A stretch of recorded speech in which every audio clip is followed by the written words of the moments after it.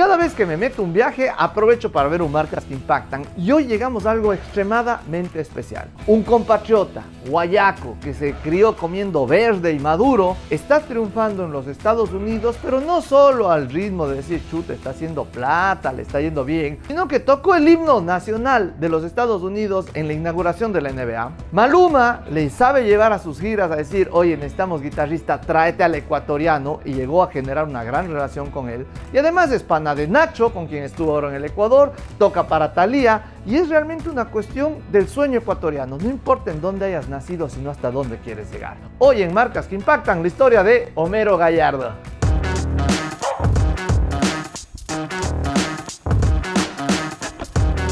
Para mí parte del paseo es alquilar un lindo carro. Si ven este está muy bonito. Una de las cuestiones que en Estados Unidos me gusta mucho es Turo. Pueden ir a ver en marcas que impactan, quise de esto. Este Mercedes lo alquilé por Turo, que normalmente es un carro costoso. Por Turo puedes conseguir uno de estos en 60, 80 dólares del día. Y que el costo del vehículo lo puedo pagar con mi Mastercard Payphone. Lo que yo cobro de un registro de marca, una constitución de compañías en el Ecuador, en ulpic.com, que es nuestra startup Legal Tech, que utilizamos Payphone como la forma de dinamizar los pagos, en donde podemos mandar por WhatsApp un link. Ese pago que nos llega, luego lo paso a mi tarjeta Mastercard Payphone y con eso uso en cualquier parte del mundo. Puedo pagar desde el Spotify hasta el Netflix e incluso el carro en Miami. Homero me ha dicho que vive en el edificio Infinity en Brickell. Hijo de tanque.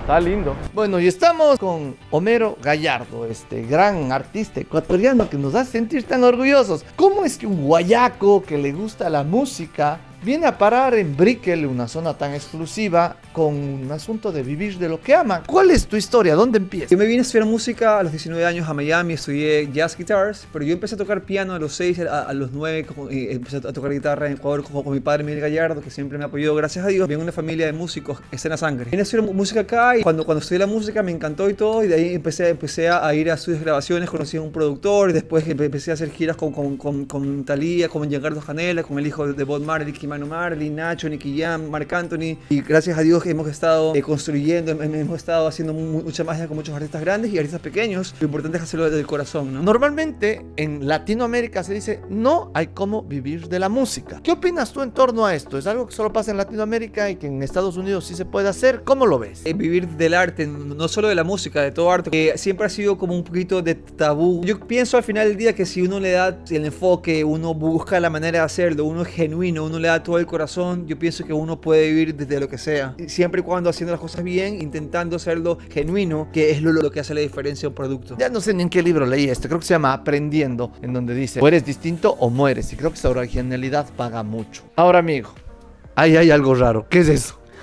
bueno, eh, eso es un disco de oro que gracias a Dios eh, lo, obtuvimos con, Paloma Mami, un artista de Sony Music. Ese disco lo hicimos en, plena pandemia, en pleno encierro, como se dice. Paloma me dijo, mira, quiero, quiero que las guitarras, haciendo un, estilo, lo que sea. Le mandé, ella grabó creo que en Puerto Rico, no sé. Toda la producción y toda la creación fue cada uno individual en estudio o en su país donde estaba. Y gracias a Dios eh, hemos ganado el disco de oro. Y también tenemos una nominaciones a los Grammys, también con, con Osuna, que también fue en pandemia, y con Perico y ese León. Eso fue unos años antes. Ha señalado como un gran aspecto la creatividad, la originalidad. Que si ves, o sea, ya desde la, desde la pinta, vos tienes otro. ¿Hubo algún momento en donde dijiste quiero vestirme distinto al resto y hago mi propio estilo? Porque nunca he visto a alguien que mezcle media, pantaloneta y casaca elegante con sombrero. Bueno, en realidad esa pregunta es increíble. Yo pienso que no, no he visto como que un momento que dije voy a ser diferente. Yo creo que ha sido con los años, eh, simplemente me, me, he conectado con el fashion, que es otro arte también. Casi siempre cuando tengo muchos videos y que vamos con, con, estilistas que me ayudan a vestirme y todo. Y casi siempre como que yo cojo lo que siento en el momento y me, lo pongo. Si se siente bien, no importa que sean diferentes estilos, pero si, si, si, se siente bien conmigo, yo pienso que es lo que es. Normalmente visto es mostrando la rodilla, media hasta acá y casaca con sombrero. Es medio el estilo Homero Gallardo. Sí, quizás que sí, pero en realidad también con los años va cambiando. Quizás el próximo año sea diferente, no sé. ¿Cuál es un tip que nos puedes dar en torno a la personalidad para vestirte como te dé la gana? Hay mucha gente que dice, quiero usar ese vestido, se ve horrible, pero a mí me gusta. Pero dice, no, qué vergüenza, me van a criticar. Es sumamente importante eh, conectarse con, con, uno mismo por dentro. Tú, tú te puedes conectar, como, como, quieren llamarlo, el Todopoderoso, con Dios, con, con, la energía, con el universo. Estamos conectados con ello. Yo pienso que nosotros podemos saber exactamente la misión que tenemos. Si uno se siente bien con esto aquí, con un short, hazlo. No, no, no, no importa lo, lo, lo, que ve la gente, porque por alguna razón te tenemos ese sentimiento, ¿no? Amigo, guantes de box. ¿Acaso le estás queriendo hacer la competencia Chito Vera? no, no, eso, eso, fue un regalo que se llama Julio Molina, un amigo mío que tiene una compañía que se llama Dangers. Fue un obsequio de, de, todo corazón y me encantó en realidad. A mí me gusta de repente entrenar como cardio, no como boxeador profesional. ¿Dónde venden guitarras rosadas? es, una, es, una, excelente pregunta. Casi siempre son customs las rosadas, que yo sepa, pero esta es Gibson. Yo, yo llevo una relación con Gibson ya como 5 o 6 años. Ellos siempre me han aportado en, la, mi, mi, carrera, en los conciertos, videos, giras, foros. Entonces como que siempre eh, hemos estado trabajando en conjunto. Y esta guitarra la he llevado a muchos shows, muchos conciertos y todo, entonces como que ya es como parte de mí. Ahora, Gibson es la marca probablemente más top de guitarras del mundo. ¿Cómo llegas tú como guayaco ecuatoriano a que una marca así te sponsoree? Empezó en el 2017 cuando estaba en gira con Maluma, me acuerdo. El 16, 17. Gibson tiene un showroom en Miami y el director de, de la banda me dijo, mira, vamos, a conocer a, a marketing de Gibson. Para allá conversábamos, nos conocimos. Me dijo, mira, mira, vamos a trabajar juntos para tus proyectos, para tus giras y todo. Te, te vamos a dar guitarras. Y ha sido una relación sólida desde ese entonces. Ellos te apoyaron. Ya eras medio famoso en ese entonces, porque entiendo aún no tenías Grammys ni discos de oro. No sé si soy famoso, pero eso fue, eso, eso fue antes de, de, de, de las donaciones y el disco de oro. Fue antes de todo, pero bueno, cuando hay una afinidad, cuando hay una conexión y una, y una creencia, pues fluye bien. Si bien se ve muy bien la guitarra, ¿qué detalles hacen que sea especial? Bueno, esta guitarra en realidad, el color de la guitarra es, es madera, pueden ver acá. Wow. Pero yo le puse un sticker rosa pienso que le da un poquito más de, de flow, personalidad y flow. Pero la, la, la, guitarra en sí es madera, como pueden ver. Es una guitarra hermosa. ¿Cuál es el promedio de costo de una guitarra Gibson? Esta guitarra es una Gibson 335. Esta está creo que por los 4000, 5000, no, no, no, sé exactamente cuánto estará, pero estas pero Gibson tiene varios modelos de guitarra, 2000, 3000, 4000, pero estas estas son como más clásicas. Las guitarras que tienes atrás, ¿cuál es la que más añoranza o que tengas alguna anécdota que hayas hecho algo loco? Sí, loco, eh, eh, esta aquí lo usé para muchos videos, muchas giras también, la Gibson Fly NB, la Fender, la uso mucho para grabar aquí en el estudio, la uso mucho, mucho, mucho. Tengo una Taylor que es hermosa hermosa, por cierto. Me la dio Taylor esta guitarra también. Esta es la Taylor. Esta es como que la guitarra normal, clásica. Es la Taylor me envió hace un año más o menos una guitarra que la uso para grabación casi siempre. Esta es la Taylor 814C, está como 4 mil dólares más o menos, pero es una guitarra o sea, sea para conciertos o para grabaciones, las la recomiendo al 50.000%. Es una guitarra que no va a fallar y suena como, como Dios. Y en la casa del Homero es aniñadísima, sus muebles. Comprar muebles en los Estados Unidos puede ser un poco complicado. No hay la facilidad que uno tiene en Colinial en el Ecuador. En donde ahora, si vas a ir a vivir solo o a tu propio departamento, ya no es un tema que te cuesta harta plata. Con 3 mil dólares tienes sala, comedor y dormitorio. Y no 3 mil cada uno, 3 mil todo y puedes pagar incluso diferido sin intereses.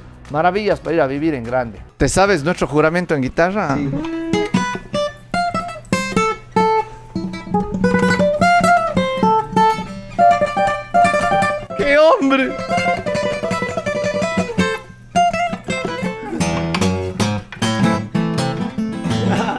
Rechaza, rechaza, amigo, excelente. Qué lindo que te acuerdes de Julio Jaramillo. ¿Cuándo aprendiste a tocar esa canción? Oh, wow, eh, nuestro juramento yo lo aprendí posiblemente cuando tenía 14 años. Veía, eh, vi algunas películas y series de Julio Jaramillo y veía una constante que, por ejemplo, tú vas a las tinajeras en México y pides, oiga, póngame nuestro juramento y te la ponen.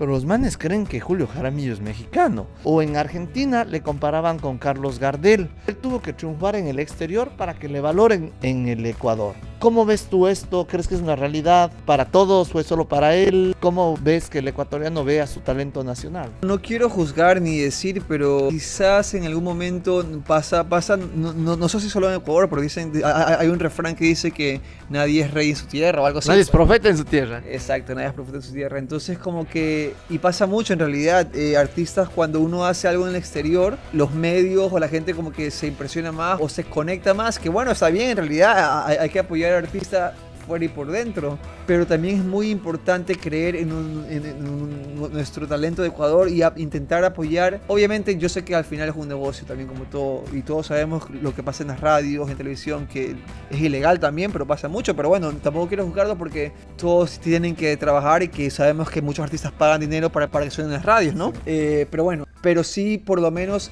dar una mano a, los talentos ecuatorianos pequeños, porque talentos hay en Ecuador y hay muchos talentos. Lo que, lo, lo, que nos hace falta es eh, una, una, una, programación, una, una meta, una, una dirección y, y, y, eso está envuelto mucho en todos los medios ecuatorianos. Así que si ven que alguien tiene talento de Ecuador, que sea pequeño no importa, pero intentemos darle una mano siempre. ¿La principal lección que te dio tu papi en la vida? Disciplina y hard work. O sea, disciplina fuerte, sí. ¿Y la principal lección que te dio tu mami en la vida? Eh, hacer las cosas con amor. Hay algo que es, la gente que conoce a Homero Gallardo dice, putz, México es corazón, siempre es buenas vibras, siempre es amor. ¿Siempre fuiste así o hubo un momento en tu vida en donde tuviste esa transformación hacia tan, tan, tan amoroso y cariñoso? Quizás en, cuando empezó la pandemia, en, en, cuando todo cerró, yo pienso que fue una transición de mi vida que, que me pude conectar más con, conmigo mismo y, con Dios por dentro y por fuera. Creo que quizás desde, desde, desde hace año podría decir o siento que hubo un Homero antes y después. Y justo en ese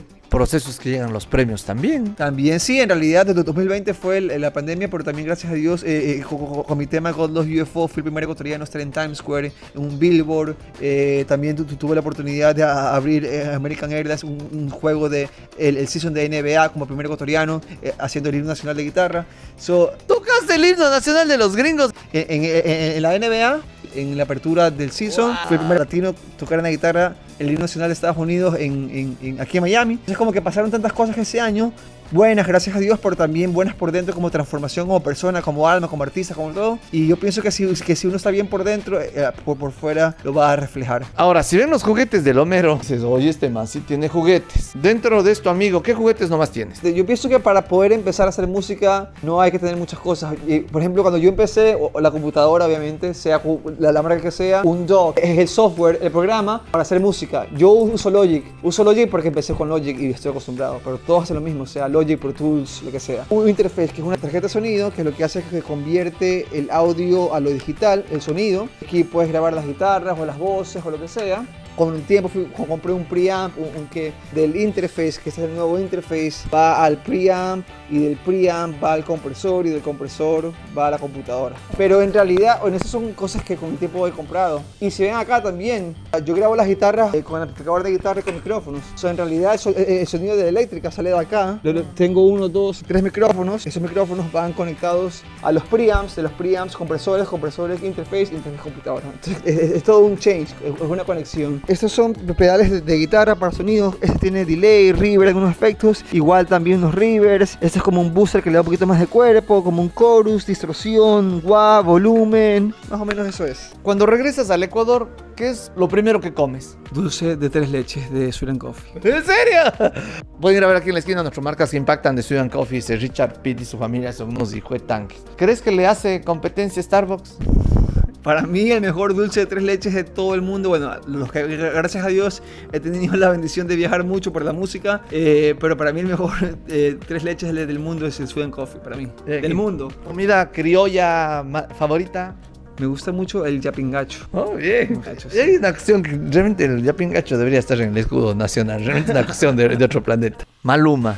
¿Cómo carajos haces que se mandiga, oye, va, dale un concierto? Bueno, en verdad lo, que pasó fue en el 2016, me acuerdo. Yo estaba en gira y pasó una situación con el guitarrista ese tiempo y llama el director de Maluma. Yo fui recomendado por el baterista de Pitbull, por la corista y por un, amigo mío que se llama Aldo González, ecuatoriano, que es A&R en Universal Music. Los, tres me recomendaron, me llamaron y me dijeron, manda un video urgente, tocando para canciones de él. Mandé el video, supuestamente eran como 50 guitarristas. ¿Qué canción tocaste? Ahora no me acuerdo qué canción era, pero e, era una de las más famosas en ese tiempo de Maluma. Fue todo rápido. El siguiente día me llamaron, me, me dijeron, Homero, estás elegido. Hoy mismo un viaje a Colombia. El siguiente día vamos para Viña del Mar a hacer un concierto. Y yo como que, bueno, fui sin ensayo, o sea, fue a lo loco. Fuimos a Viña del Mar, hicimos, tocamos Viña del Mar y bueno, de ahí nos fuimos adaptando entre los shows eh, estaban pasando porque en realidad eh, eh, estaban ellos en plena gira. O sea, tiempo para ensayos casi no había. fue todo así algo rápido. Pero obviamente, voy a decir algo rapidito, esas cosas pasan y esas oportunidades pasan y se dan porque hay, hay, hay, hay un background por detrás, hay una preparación por detrás, hay, hay un estudio por detrás. Hay muchas veces la gente dice, ah, es que el Homero tuvo suerte, le llamaron Maluma, pero hay una parte del iceberg bajo el agua que la gente no ve y que es desde los 14 años, ahí dándole con Julio Jaramillo en, la- en Guayaquil hasta llegar a estas cuestiones en Miami. Cuando tú eres parte del equipo de Maluma, eh, puede ser de un círculo más íntimo con, con el Mijín o igual eres como un empleado más y mantienen sus distancias. ¿Cómo se maneja eso en esa producción? En verdad, to- todos los artistas son, son diferentes. Como Maluma, bueno, estuvimos en gira varios años y como estu- compartimos mucho en- con su familia, en fiestas, en reuniones y todo. También me ha pasado con muchos artistas que hago un show que de repente los saludo, hola, tocamos y nunca más. Como Nacho, eh, de Carlos Canela, eh, Fanny Lu, tenemos mu- relaciones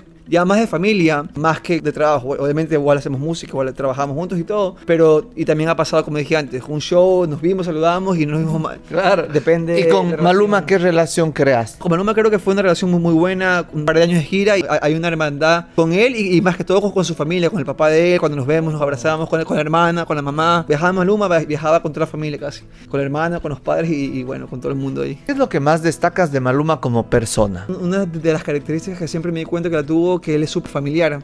Donde iba, intentaba estar con todos, si sea a Europa, si iba con su familia. Entonces pienso que es un valor de admirar e inspirar, que la familia es lo más importante que di- di- Dios nos ha regalado a nosotros. Normalmente es raro, solo he visto a Mike Tyson un tatuaje en la cara.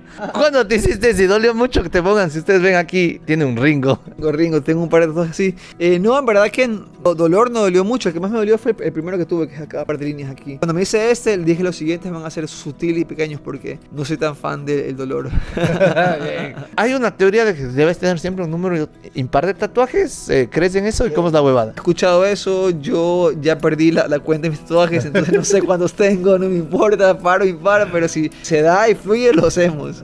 Homero, ¿qué le dices al mijín que está en el Ecuador? Pucha, puede ser en Cuenca, en el Tambo, en Esmeraldas, en Lago Agrio, con talento, moviéndole a la guitarra, pero que dice, chuta, es que no se puede vivir del arte, la gente no valora aquí el arte, y que no, chuta, me va a tocar hacerme abogado, médico, youtuber para poder vivir. Dios nos ha regalado una misión a cada persona en el mundo o varias misiones y es importante conectarse con ellas y ejercerlas, no importa lo, lo- lo que la gente pueda decir o, o opinen. Que, que Qué miedo, estamos dando clics con el trasero. obviamente estamos en una cultura que de repente en nuestros países todavía suele ser un poquito cerrada, pero lo más importante es hacerlo. Como toda carrera, no, no- no vamos a caer, nos vamos a levantar, caer, levantar, perseverancia, disciplina, fe y creer, creer mucho y creer en Dios y creer que eso va a funcionar y la, la conexión es lo más importante y ser uno mismo que al final todo se va a dar poco a poco.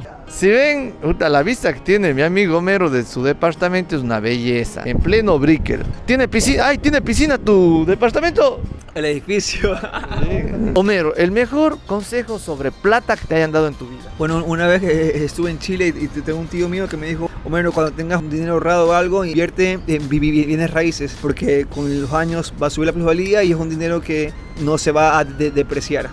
¿Tienes tú ya inversiones inmobiliarias? O- ahorita tengo dos, dos- dos apartamentos aquí en Miami, eh, estoy comp- comprando otro mediante a finales de fin de año. Estoy esperando de que bajen los intereses para hacer el siguiente, pero bueno, obviamente cuando sea con los años más grandes, cuando sea más grande, un- uno de mis side jobs, como se dice, es inversiones. Si tú le lees a Rey Dalio, estos manes hablan sobre que estamos en recesión porque están subiendo la Fed los tipos de intereses para real- la economía. Que es raro que un músico esté enterado de tasas de interés, de mercado inmobiliario. ¿Qué haces para estar al tanto de eso? ¿Tienes algún asor? ¿Lees? ¿Hay algún audiolibro que diga cómo manejar esta huevada? Tengo TikTok, que hay, hay- hay- hay- en TikTok de, de las mañanas cuando, cuando me estoy alistando para entrenar, eh, escucho eh, eh, un mexicano que habla mucho sobre dónde va la dirección de la economía, en qué se puede invertir en este momento, qué inversiones se puede hacer cuando hay un crash, cuando no hay un crash. Entonces como que me, me gusta mucho, en realidad parte de mi familia ha invertido en bienes raíces, entonces como que está en mi sangre también. ¿Cómo se llama el mexicano que da los tips? A ver, si ven, este es mi pana Salomón Ring, que no le conozco, pero eh, les sugiero aquí el podcast Emprende Duros Ajá. del man en Spotify, buenazo, y está como Salomón Ring en redes sociales. En Instagram, en TikTok está como AMGCOOL. Él, eh, de lo que he oído, ellos señalan que para agosto, eh, para el último trimestre del año, se viene una gran recesión en los Estados Unidos, que lo que ha pasado hasta ahora es juego de niños y que incluso puede ser una, una recesión que viene con esta inflación que o sea, pu- puede estar complicado, pero eh, en toda crisis hay los que lloran y los que venden pañuelos. Hay que estar informado para estar en el lado correcto de la historia. Me encanta el estilo de Homero. Es un man que recuerdo la última vez que nos vimos fue en México, en la charla de Tony Robbins, donde estaba el Milan Ludueña, el Gushmir, Javier Herbas, el Daniel Molina. Estaba un gran grupo de ecuatorianos y el man destaca, pero destaca con un aura medio rara, así humilde, sencillo, práctico, amoroso, cariñoso.